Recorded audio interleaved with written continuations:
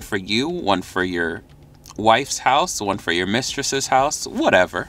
Hey guys, welcome to another episode of LJ's Garage. I'm sitting in a 2022 Ram 1500. This one is a Laramie Crew Cab 4x4 with the glorious V8. So if you're on the market for one of these, or you know, you might want to gift someone like me one of these, then uh, be sure to stay tuned because this thing has pretty much everything that you could ask for, minus a couple things that, you know, you can always option. But I'm going to show you what about $70,000 for one of these Ram 1500 gets you. So stay tuned. Let's talk about this. If you're new to the channel, consider hitting that subscribe button. I'm almost at that 7,000 subscriber mark. It's going to be so nice to just have you guys as part of the team. So hit that like button, comment button, all that good stuff. And, uh, you know, stay tuned for more because I like having you here.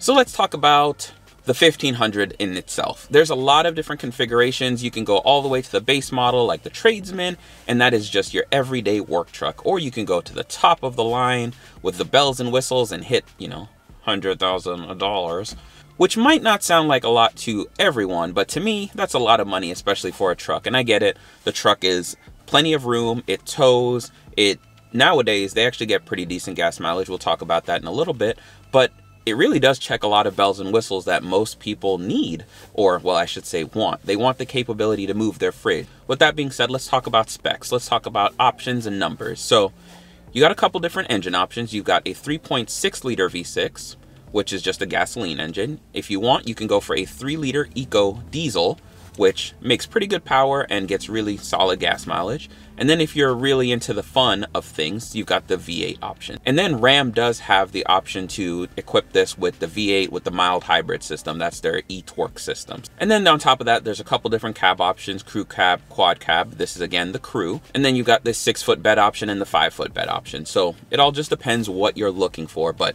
Ram pretty much has you covered on everything that you could need. You know, nowadays, if you go on their website, they even have a tow configurator or calculator. And so you put in what you have, like jet skis, boats, you know, big, gigantic kids, and, you know, whatever you need to tow. And you just put in some numbers, and Dodge or Ram will say, hey, this is the engine option that's best for you, and this is how you want to equip your truck. So we're looking at about 395 horsepower and about 410 foot-pounds of torque. These are familiar numbers, and this V8 is a very familiar, you know, the whole drivetrain, I should say, is very familiar. FCA hasn't done a whole lot to reinvent the wheel or introduce a whole lot that's new other than that mild hybrid system, which is about a year or two old at this point. As far as towing goes, you're looking at about 11,000 pounds. I don't know too many people that need any more than that. I hardly know anyone that tows on a regular basis. I know a few people with trailers and RVs and campers and things like that, but that's once a year, a couple times a season, you know, during the winter time, hunting season, all that. But for the most part, you know, it's kind of just having the capability to do something if you needed it. Earlier, I mentioned that gas mileage is solid for a big V8, and I'm not lying. So it's about 17 city, 22 highway. At the end of the day, though, I mean, gas mileage between big trucks, it's not, it's not anything to brag about. But considering that, you know, some of us do care a little bit about the environment, it's nice to be able to say I get over 15 miles per gallon, which at one point that was like the truck, you know, target gas mileage. So we've come a long ways, and I'm proud of Ram for, you know, caring about the environment, even though they have, you know, almost a thousand horsepower truck. It's wild. So let's talk about the outside of the truck. You'll notice that you got cool headlights, you got cool grill, this one's kind of the white on black theme, which is one of my favorites on this truck. I do like the red color as well. I don't know the exact color code for that, but I love the wheels. I love the running boards. Everything on this truck is just, it's just nice. The interior is where Ram really shines against the competition. And I think the closest after that I'd probably have to say is GMC. That's just my personal take. I love GMC trucks as much as I love the Ford F-150. I think the GMC is just next next level um, when it comes to that type of stuff. And we could go all day and talk about what makes this truck better or that truck better, but I love them all. And I think there's a place for every single one of them. And depending on what your budget is, there is a truck that will fit your needs. So let's dive right into this one. The outside, like I said, it's it's pretty much you like it or you don't. And don't forget, with this nice V8, you're to get an awesome 8-speed transmission, smooth as butter, shifts oh so well, and uh, dual exhaust tips as you'd imagine so you can hear the glorious V8 soft open tailgate bam look at that it's bullet lined Feels nice. Gets the job done. Nice and sturdy. Let's go ahead and hop in. And before I hop all the way in, I'm gonna show you guys this. Pop this up. And you got a little storage compartment right there. That's pretty nice. Look how much room I have. I'm 5'9", the seat's set for me, and it's just huge, huge, huge space back here. If you don't know that, well now you know. Then right here, you got your charging ports and all of that. You got your heated seats, so that's to be expected at this price point. You got your regular home outlet right there, climate control vents, and that's really it. Everything is pretty nice. This is pretty great material. Got this little seat right here in the middle. You can fold that down. More storage, bam. Cup holders, bam. So pretty nice. You got your little window there, which is power, so you don't have to manually open that.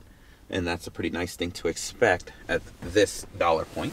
When it comes to trucks, this is just what it is. You want large space that you can put large things in. Something else I want to point out is this, and I'm sorry that I'm kind of staying in the warm truck, but it's cold outside. It's like 30 degrees. Too cold for my blood. But you pop this up, and you got all this space. Look at this. Look at this. You could do anything back here. And we'll talk about everything up front in just a second here, but special thanks to Jeff Wyler over here in Springfield, Ohio for letting me take advantage of this amazing truck and show this to you guys so you guys could also appreciate what Ram has done. But it just looks so good. I mean, you cannot get in this and not be happy. Like, there's not much more that you would be asking for. And if you're asking for more than this, then uh, you're pretty bougie. Let's talk about that. I know a lot of truck guys, they get in their feels about trucks. And they get annoyed when non-truck guys, I'm a sports car guy, talk about trucks and towing and stuff like that. So I just want to say that the definition of a truck guy is a little different than it was years ago. I, I hate to burst that bubble. Trucks are luxury things now. And, you know, back in the day, you could say, why would someone spend that kind of money on a truck or a BMW or something exotic even. And trucks are pretty much that now. They're exotic car money almost. And they're just climbing and climbing. Look at the Hummer. It's just, sorry, truck guys. It's not what it used to be. And uh, I just wanted to have a heart to heart. And same with you, truck gals. Truck gals are a thing. And I know that a lot of people don't want to admit that. And it's uh, 2022 as I'm presently filming this video. And so, you know, there's a truck for everyone. Everyone can have a truck. And you might be a Chevy guy. You might be a GMC guy. You might be a Dodge Dakota driving person. Who knows? But you gotta you gotta embrace the change. And trucks aren't cheap.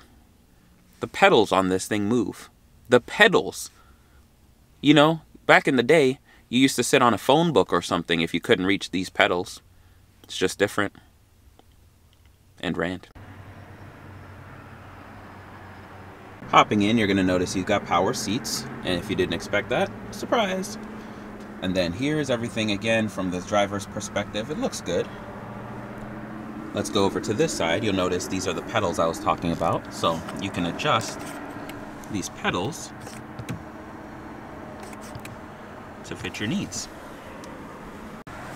You got your running board, which is an option.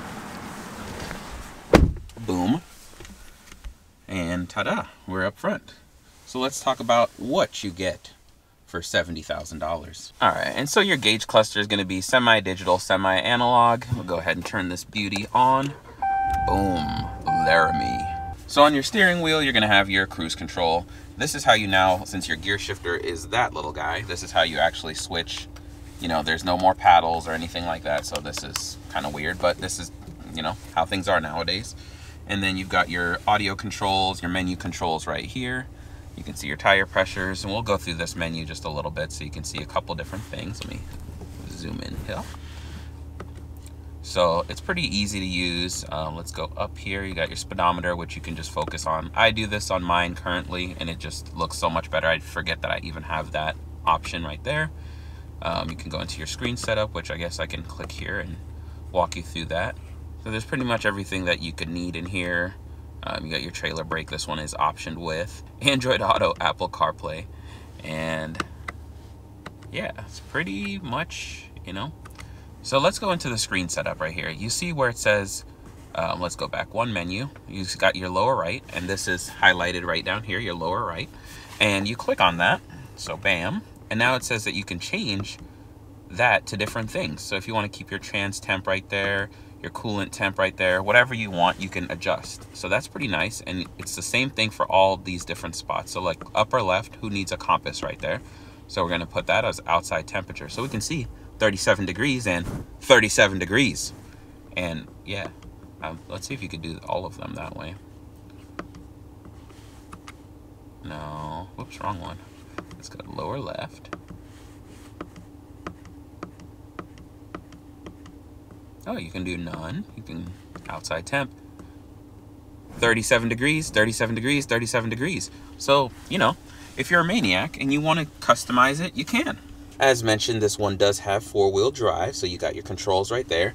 You won't accidentally hit this while driving or anything like that, and even if you do, nothing will happen. You've got a couple different screen sizes, two to be exact. This one is going to be the smaller one, and this was just built this way, so you can option it and build it however you want. And if you're a little patient, it may take some time with today's economy and cars and deliveries and everything like that, but you'll get it.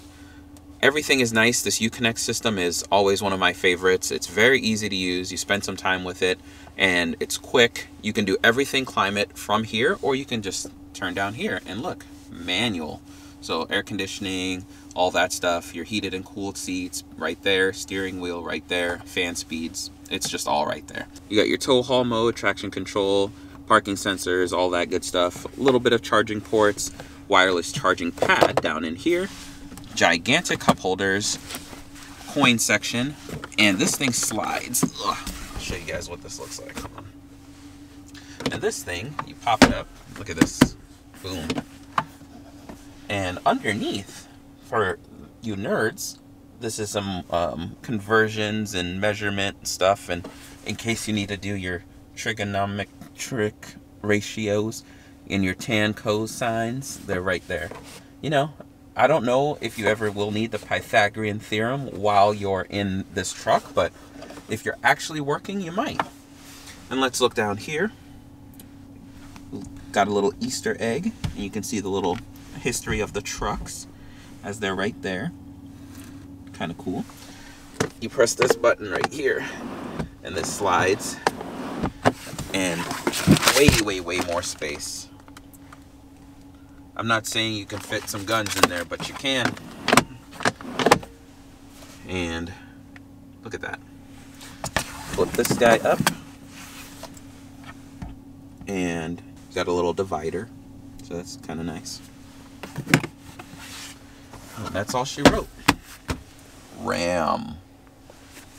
Let's go back to this infotainment system really quick here. Let's go into vehicle. You can control your rear view camera. As you can see, it's great quality. Let's go back into vehicle though. Sorry, I'm bouncing all over the place. I'm kind of spastic today. But you go into your safety and driver assistance, emergency braking, front parking sense, so you got sensors all over the front and rear to make sure you don't hit anything, blind spot monitoring on, trailer blind spot monitoring, hill start assist, and tire fill assist, all that good stuff. Let's turn our attention up top and you see that you got your control for the rear window, that little slider. You got your tailgate you can drop from there, and that is everything. I mean, dome lights and the rest is the rest. No sunroof, unfortunately, but you do have HomeLink you can program up to three garages one for you, one for your wife's house, one for your mistress's house, whatever. So let's bring our attention over to here. You press this, you got another storage compartment. Bam, plenty of room. It's actually fairly deep. And then down here, you've got your glove box and also plenty of room. But one thing you're not gonna be itching for in this is storage. Got compartments on here, the door sills. There's just pretty much everything that you need. I, I can't stress that enough that this truck has dang near all the bells and whistles and solid fuel economy, solid towing, solid performance overall, and it just looks so good. All right, take a look at this key. You got your remote start right here. You can drop your tailgate from here, but you actually have to manually close it. I don't know, there's just something about this key fob being a little bit more, you know, luxurious when they take the time to give it some sort of personality and character. But it's simple, yet it gets the job done and looks good with the Ram logo. Look at that. Ram. Did I mention that this has a Harman Kardon sound system? And I'm not an audiophile or whatever they call themselves nowadays, but I know a good sound system when I hear one, and I am a huge fan of HK, and I have it in all my cars, and I love it. I love it to death. And just like that, the end of the tour is here. Driving experience is nice. It is great acceleration. It is great on-road manners. I've never taken one of these off-road, but I could imagine it does fairly well on rough terrain. And overall, I've got to say this is one of my favorite trucks. I give this thing a 9 out of 10 overall. And not this specific one. There's a couple different options that I personally would have chosen, like the larger screen, which I know the large screens aren't for everyone, but at that dollar value, I feel like the price difference is, is just worth it. And I know that there's a lot of supply issues going on in the world, and sometimes, you know, trucks just get built the fastest way that they can, and sometimes they're not built the way that you want, which is why you can, you know, build it the way you want. With all that being said, thank you guys so much for checking out yet another video in LJ's Garage. I hope that you have enjoyed your time here, and I know that you want to look as cool as I do in this truck, and hopefully one day you will also be cool sitting in this truck. And if you decide to get one, let me know. And if you decided you like Ford more, I want to know why. But thanks again, and I will see you guys on the next one.